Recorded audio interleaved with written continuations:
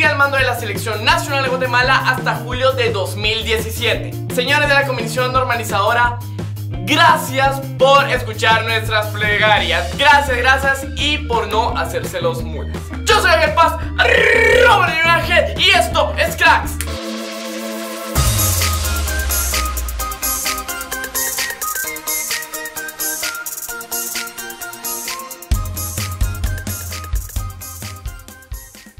Amigos, las buenas noticias. Todos, pero todos amamos las buenas noticias. Ya sea de que te avisaron que ganaste el semestre con zona mínima, o que te aumentaron el sueldo en el trabajo, o que tu novia te diga que ya le vino el periodo y que significa que no la cagaste, y que tu mamá ya no te va a sacar a patadas de tu casa. Pero esto no fue la excepción en el mundo maravilloso y hermoso del fútbol guatemalteco ya que el lunes pasado la Comisión Normalizadora de la FedeFood renovó a Walter Claverí al frente de la Selección Nacional de Guatemala hasta el julio 2017.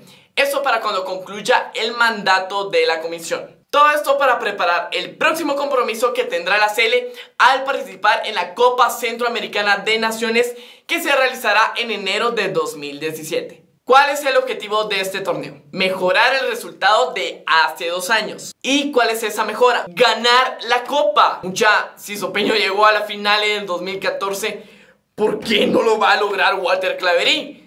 Si tiene todo lo necesario para mejorar a la selección, llegar a la final y ganar la copa.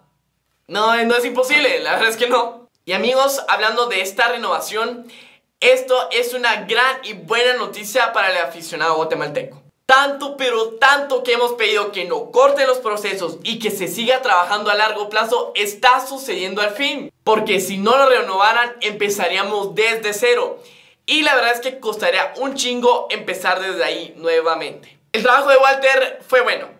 No excelente, pero cumplió las expectativas. No clasificamos al Mundial de Rusia 2018, pero todos sabemos que esa eliminación fue gracias a Sopeño, el partido contra Trinidad y Tobago en el Doroteo Guamuche. Ah, me da tanta rabia recordar ese partido. Ah. Sopeño, ¿qué onda? Pero si miramos claramente las estadísticas del entrenador Chapín, tiene un balance arriba del 65% de efectividad al frente del azul y blanco, la cual 70% es vanidad. es vanidad. Ha dirigido 9 partidos en los cuales ha ganado 4, empatado 3 y perdido 2. En juegos oficiales el azul y blanco ganó 2 partidos, perdió y empató uno solamente. ¿Cómo le fue a Walter Clavería en los partidos con Guatemala? En los primeros partidos amistosos se obtuvo 2 victorias. 1 a 0 contra El Salvador y 3 a 1 contra Honduras. Luego en la eliminatoria de Rusia 2018, Guatemala le ganó en el Doroteo Guamuche a Estados Unidos por un marcador de 2 a 0. Y fue primera vez en la historia que Guatemala le gana a los gringos en la historia de las eliminatorias. Luego en el partido de vuelta lamentablemente se perdió 4 a 0 contra los gringos. Después en tres partidos amistosos se perdió 1 a 7 contra Armenia, se empató a 1 contra Venezuela y se empató a 0 contra Panamá. Y en los dos últimos partidos oficiales de eliminatorias de Rusia 2018, Guatemala le empató a 2 contra Trinidad y Tobago y le ganó 9 a 3 a San Vicente. Buenas estadísticas, buenas. No le vamos a pedir a la selección ganar todos los partidos cuando hay que ser realistas.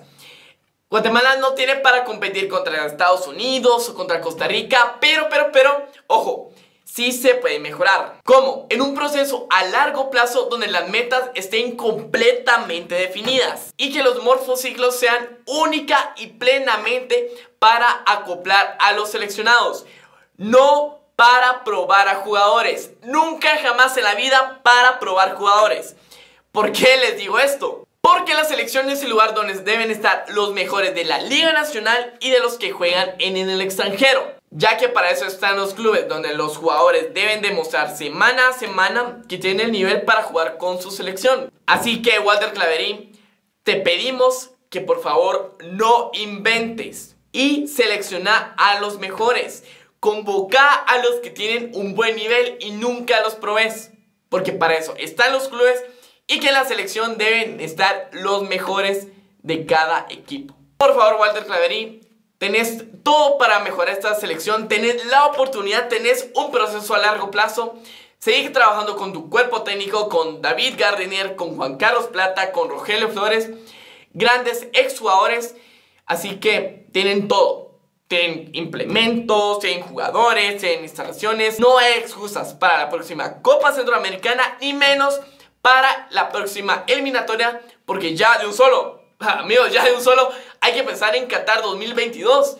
No hay tiempo para esperar, no hay que esperar hasta el 2020, no. Desde hoy incluso desde hoy domingo se inicia la preparación para Qatar 2022. Y no hay que perder las esperanzas, tal vez no somos el mejor equipo, tal vez no somos el mejor país en fútbol, pero hay que apoyar, como los he dicho en todos los videos, hay que apoyar a la selección sin excusas. Así que Walter Claverín, tenés todo para darlo todo. Igual los jugadores, a todos los que convoquen, pilas porque es una oportunidad única en la vida también para los jóvenes, selección sub-17, selección sub-20, que van a participar en próximos torneos. Denlo todo, es una oportunidad única y nunca hay que perder las esperanzas. Regresamos.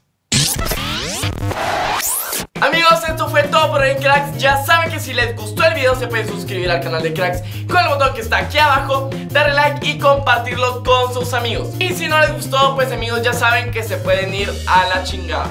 Yo soy el Paz, arroba ni muy ángel Y me despido como cada semana, como todos los domingos a las 7 de la noche. Los amo, amigos